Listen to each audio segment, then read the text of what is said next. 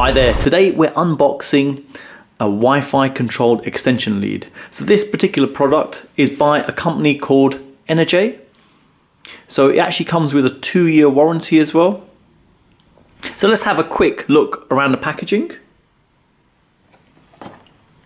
Quite nicely packaged, you know, you've got the apps there to give you the connectivity to the device. Some of the other products they also do. There's some more details on the back. Okay, so let's open it up and see what's in the packaging.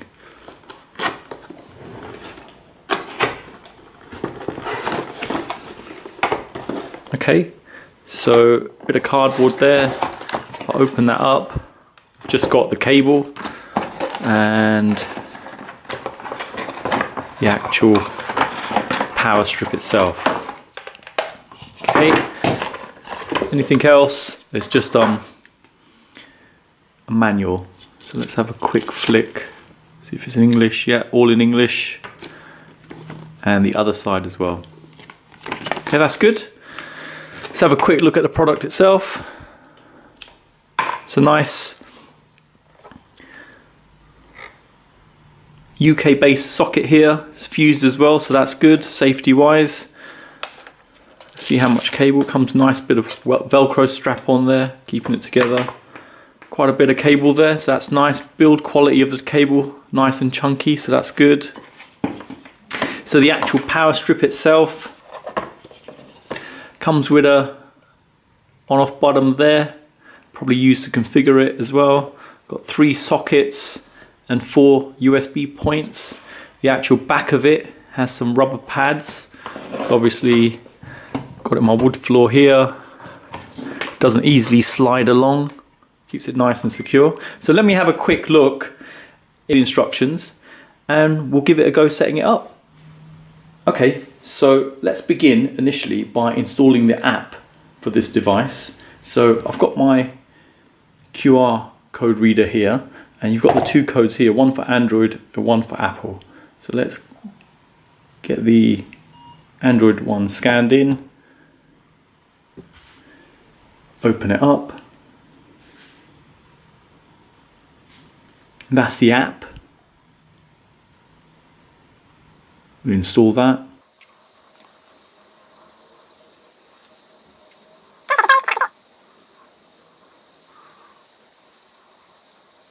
Okay, that's installed now. Let's open the app up.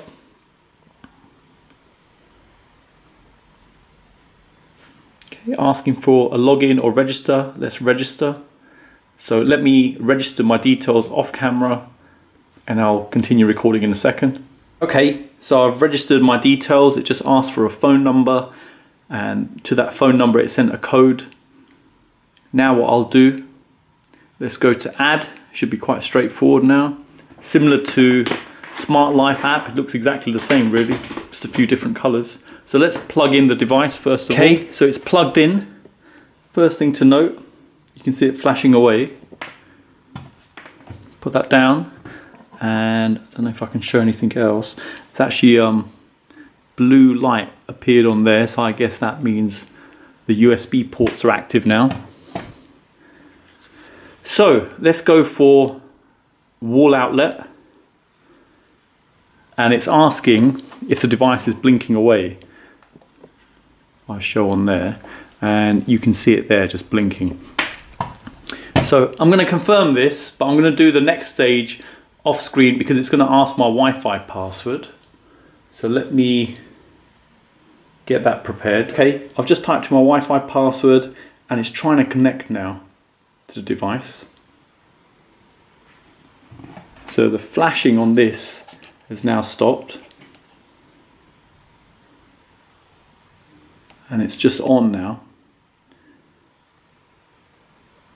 And there you go. Wow, that was quick.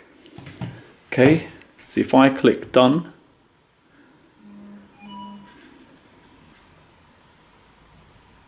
and now there you go. You can actually see the three sockets and the USB ports. So I guess if I click it, let me show this a bit closer. See a light pop on and it turns on. Turns on. Excellent. So let's test out just to make sure it does turn things on and off. So let's get something to plug in and test out. Okay, so I've got a battery charger here and this is quite a good use of the product. So if I plug it in, you can see the lights have actually powered on. And now I guess that must be three. There you go, it's powered off. Let's see what else we have on there. So we've got Opal, open all, for example. Close okay. all. So let's try out the alarm option. So we know the charger's plugged into socket 3. So let's click switch 3, add to the schedule. It's increased by a minute. So this is quite cool. You can actually pick when you want it to turn on and off. So you could have it turning on for about a few hours if you wanted to. So let's have it on on, click save. I'll go back, back to that. Oh, it's already gone to 18 past. So it should be getting ready to turn on.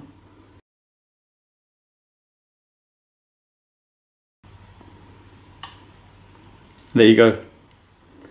Slightly delayed, obviously timing wise, due to the fact it's all cloud based. But there you go, it's turned on. So in the same way, you could also set another scheduled activity just to say turn it off. So you could have this on a daily basis or just, I guess, as a one-off. If you're going out and you want it to just turn off after a little while, this is a great way of doing it. Okay, so the other thing about this product is the USB ports. So if I get a charging cable, plug it in there, and just leave it charging and just show it charges. So at the moment it's not charging, you can see there. So if I click, it should start charging. I can show it just there. So what you could do, which is quite useful, you could set the timer on the USB port and just say cut all the ports out at the same time every evening. So this avoids the situation where you leave your devices charging all night and they sort of overheat unnecessarily. So there you go, you could say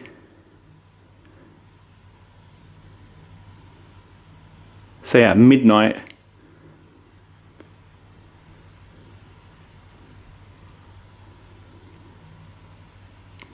daily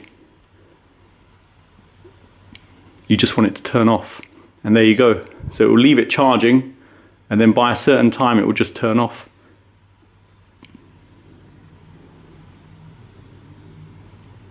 There you go, excellent. So other thing to show, obviously the button on there, this is like an override button, so you don't always have to use your phone just to turn it on and off. If I just click it now, turns everything off and turn it on again, all the points come on. So it's just like using a standard uh, extension lead. So you can control it from here and turn it off. Okay, so another feature worth showing about this Wi-Fi controlled extension lead, which is quite cool. So at the moment, you see it's connected to my Wi-Fi. If I drop that, let it connect to my um, data connection. Okay, it's on my data now. So if I hold that, there you go. Without opening any ports or doing any changes on my router, it works automatically. It's quite a cool feature. Okay, so let me show how to configure this Wi-Fi controlled extension lead onto your Google Home and Amazon Alexa. So first of all, let me go to my Android device and I've started up the Home app. That's where you can configure bits and pieces. And in Home Control, if I click plus, you'll see what I've got configured at the moment. So you'll see it's just a Nest. So I've had a look through this and I can't see the ENER-J app in here, but the Smart Life app looks exactly the same as that app. So what I've done I've already gone ahead in the background and configured Smart Life to work with this. So what we'll do, we'll find Smart Life in here. It's just there. If I click on that, it'll appear with a login dialog. So let me log in off camera. Okay, so you get the following dialog. So Google will be able to receive your public profile, control your devices over the internet. So if I just click authorize to that, I'm just covering up my details in the corner.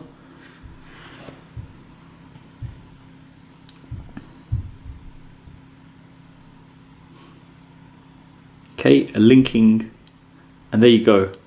Comes up with all the smart devices I've got. Now, if I go back, just confirm it's been added, going to the top, there you go. It's just there. So now, I should just be able to call out to Google. So if I say, okay Google, turn on switch one. Sure, turning switch one on. And there you go. The charger's turned on. Okay Google, turn on switch two. Sure, turning switch two on. Okay Google, turn on switch three. Sure, turning on switch three. Okay, okay Google, turn on USB 1. Okay, turning USB 1 on. Okay Google, turn off power strip. There you go, turning off the smart power strip. There you go, very simple. So next thing, let me show how to set this up on the Amazon Alexa. So let me bring up Amazon Alexa app and go to Smart Home. So this has already been configured with Smart Life app. And if I scroll down, you should be able to see the different switches. So there you go. So you've got the, the power strip there, and I can actually